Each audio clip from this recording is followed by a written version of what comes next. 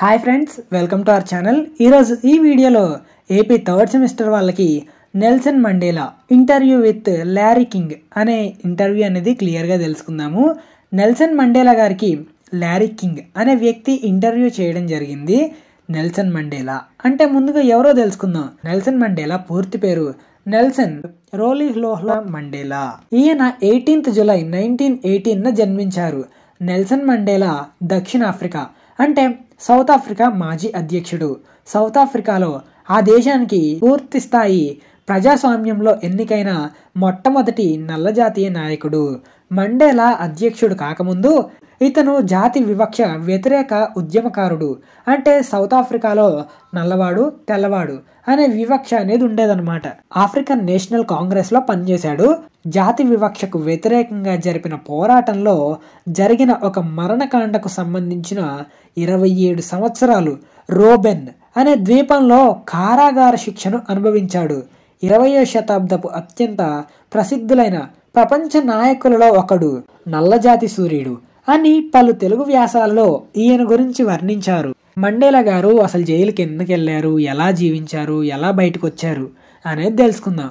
Mandela గారు eighteenth July nineteen ఎయిటీన Umtata జిల్లాలో Mvezo అనే ఊర్లో జన్మించాడు. మండేలా గారి పేరు మండేలా కాదు ఏడవ ఏట చదువుతున్న సమయంలో వారి కుటుంబంలో బడికి వెళ్ళిన మొదటి వ్యక్తి ఇతనే. అతని క్లాస్ టీచరు రోలీ హ్లోహ్లో అని పలకడం రాక రోలీ హ్లోహ్లోకి ముందు నెల్సన్ అని తగిలించాడు. నెల్సన్ అని ఎందుకు పెట్టాడు అంటే ఆ పేరు బ్రిటిష్ నావికా దళ నాయకుడైన హొరేషియా నెల్సన్ అనే అతని పేరు నుండి నెల్సన్ అనే పదం తగిలించాడనమాట అలా నెల్సన్ మండేలాగా పేరొచ్చింది. పంతొమ్మిది వందల నలభై ఎనిమిదిలో ఆఫ్రికన్లు అధికంగా ఉన్న దక్షిణాఫ్రికా నేషనలిస్ట్ పార్టీ అధికారంలోకి వచ్చింది అలా నల్ల జాతీయులు తెల్ల జాతీయులు అనే భేదం అనే వివక్ష ప్రారంభమయ్యింది. ఆ పరిస్థితిలో పంతొమ్మిది వందల యాభై రెండులో డిఫెన్స్ క్యాంపెయిన్ పంతొమ్మిది వందల యాభై ఐదులో పీపుల్స్ కాంగ్రెస్ కార్యక్రమాలలో నెల్సన్ మండేలా ప్రముఖంగా పాల్గొన్నాడు.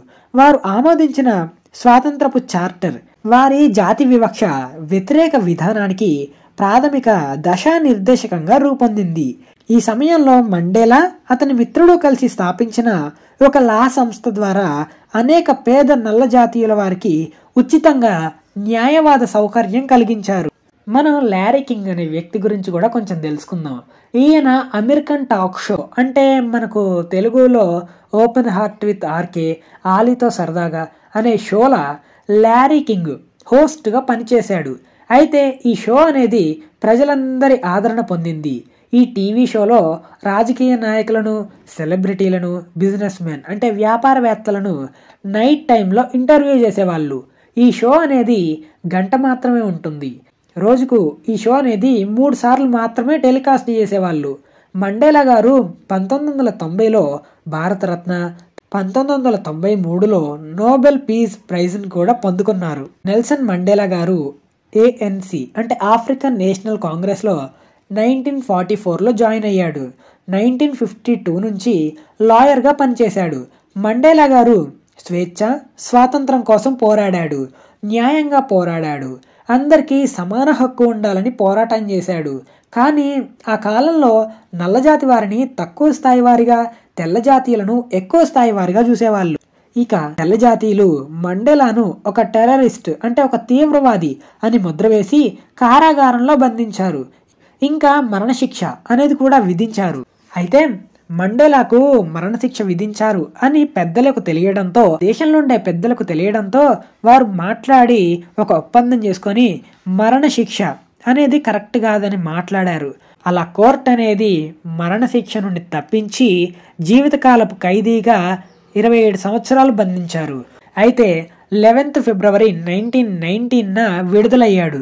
మండేలా గారు జైలు జీవితంలో అనుభవించిన అనుభవాలను చేసిన పనులను చెప్తున్నాడు.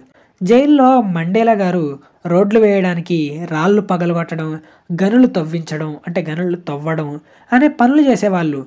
వాళ్ళను ఎంతో ఇబ్బంది పెట్టారు వారు కూడా ఎంతో ఇబ్బంది పడ్డారు ఈ మండేలా గారు ఇంకా అతని ఫ్రెండ్స్.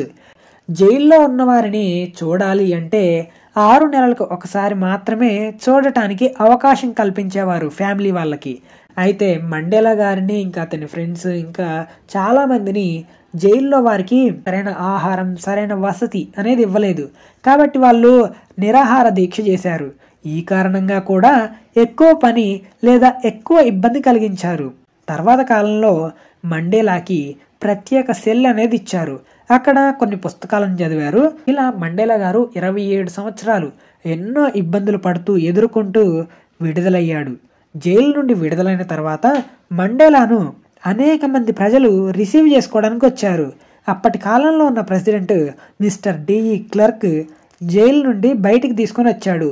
సౌత్ ఆఫ్రికాకి క్లర్క్ దిగిపోయి నెల్సన్ మండేలాని బలవంతం చేయగా అతను ప్రెసిడెంట్గా నిలబడ్డాడు. కానీ మండేలాది ఎంత మంచి మనసో చూడండి. అధికారం చేతిలోకి వచ్చింది కదా అని గర్వంగా ఎప్పుడూ లేడు. అలా అని తెల్లవారి మీద కూడా పగ తీర్చుకోవాలి అని అనుకోలేదు. ఎందుకంటే పదవి ఉంది కదా అని ఇష్టానుసారంగా కుట్రలు కూడా ఏం చేయలేదు. మమ్మల్ని ఇబ్బంది పెట్టిన తెల్లవారు వారి ఉద్యోగ ధర్మం అంటే వారి కర్తవ్యం వారు నిర్వహించారు అని చెప్పాడు. మండేలా గారు గాంధీ నడిచినట్టు శాంతియుత మార్గంలో నడిచారు. అలా మన లెసన్ ఇంటర్వ్యూ అనేది కంప్లీట్ అవుతుంది.